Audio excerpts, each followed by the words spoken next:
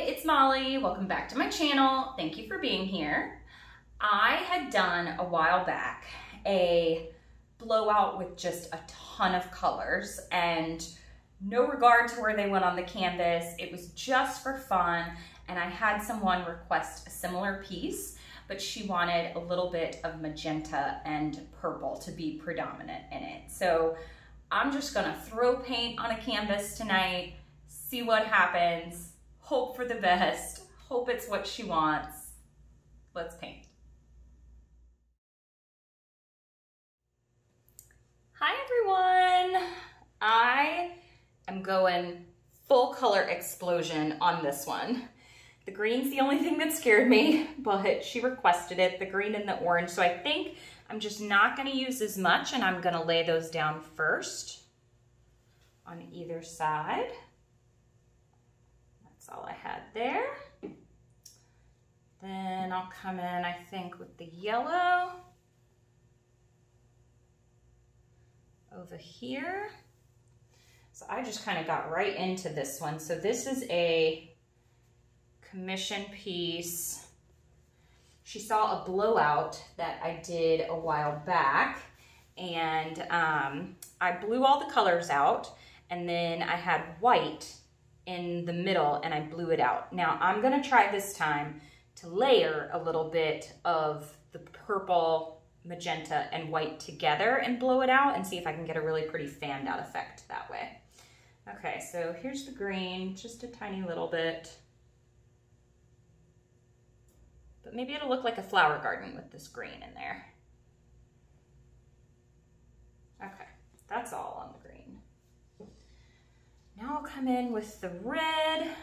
This should make a little bit more orange when it mixes with the yellows. And the rest of this is just gonna be purple and magenta and blue. So some people asked the last time they saw this, they said, how do you not get a bunch of mud? And I don't know. No, I'm just kidding. I, I don't pass the blow dryer over it multiple times. It's like if you loaded up a paintbrush and you brushed one time, you would get beautiful streaks of color.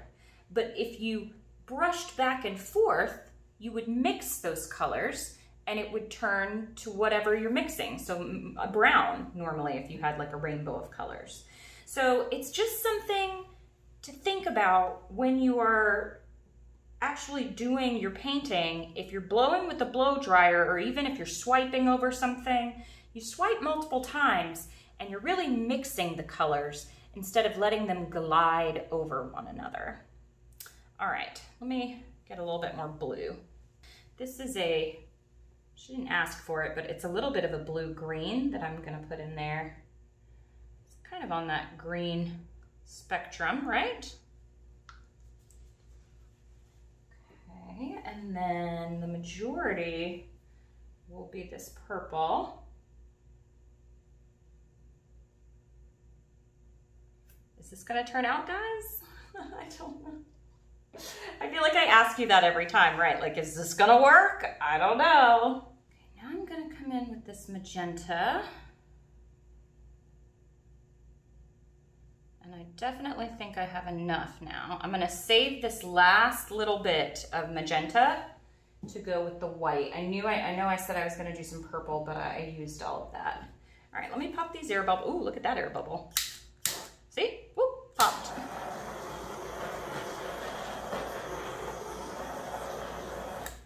Oh, and I forgot to say the magenta I made out of a Soho Rose Madder because she wanted it deep and a primary magenta. So the two colors together I think are really pretty. All right, let me blow this out.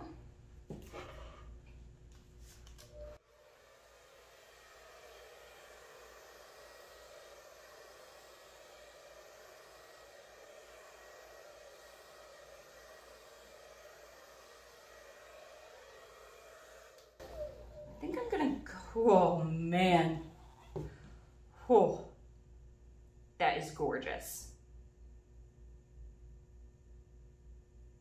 Almost don't, ah.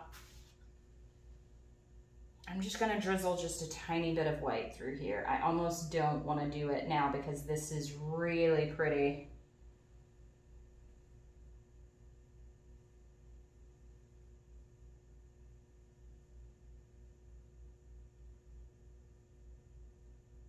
I hope I didn't ruin this. I'm gonna come back over with the rest of the magenta now. Whoop! or just right, you know, right there. Just magenta only right there. Okay, we blend this out.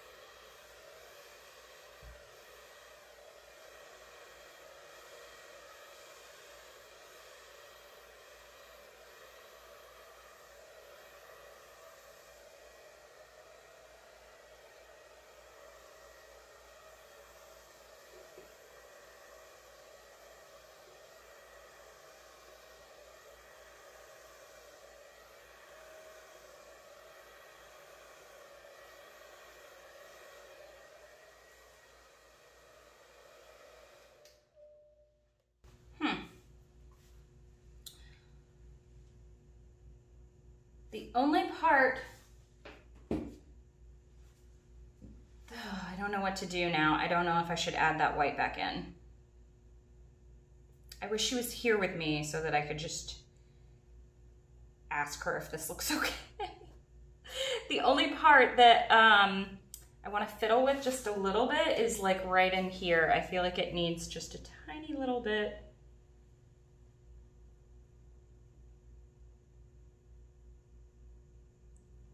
of that yellow to balance it out right there. And then maybe just a little bit more magenta through there. So I kind of just like it like this, honestly.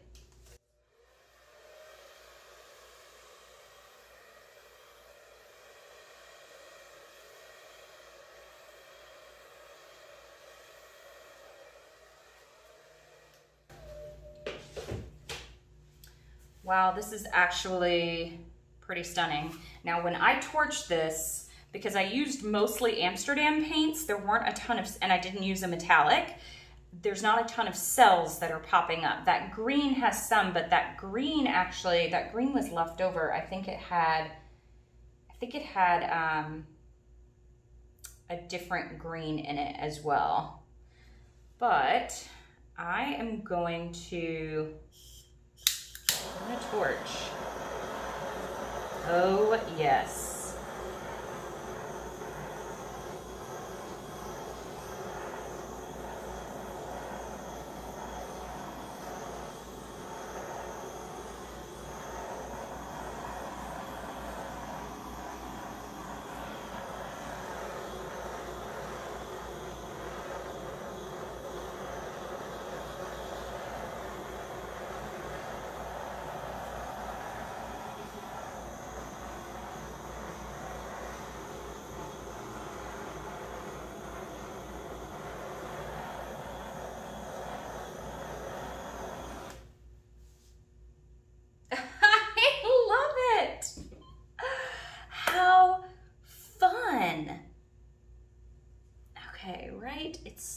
Right in there. Oh, I don't want to mess with it. I don't want to mess with it. It's already got such beautiful lines. I'm not going to take it and ruin it with some curlicues. I, I think I'm done. I'm going to torch one more little time right through here. Yep, there come those cells.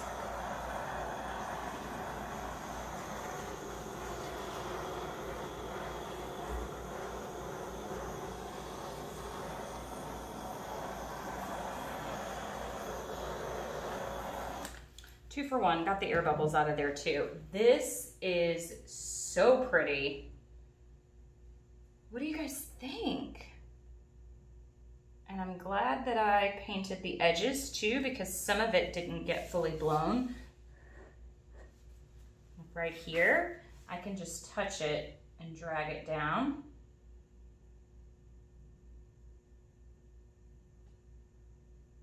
Side. But I'll do that off camera.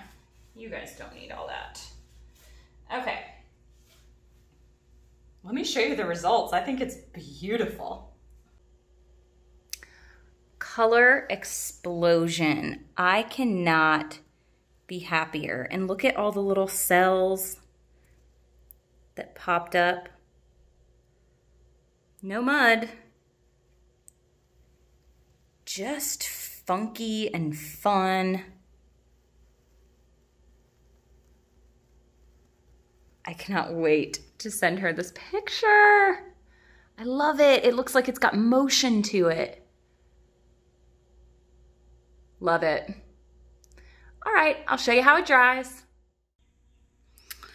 I mean, talk about a color explosion. I really, how much fun was this? And I've already showed it to the person that purchased the commission and she loves it. She said it's the exact splash of color that she needs in her life. And no, there's no specific composition, but I love how the yellow kind of trails through the entire painting. Kind of moves your eye from one side to the next. And that's really all all I was looking for. The colors dried much darker, but I actually like it that they dried darker. That dark pink, oh, I'm really happy with this. I'm so glad I did this one again. All right, you guys, thanks for watching. Happy painting. Bye.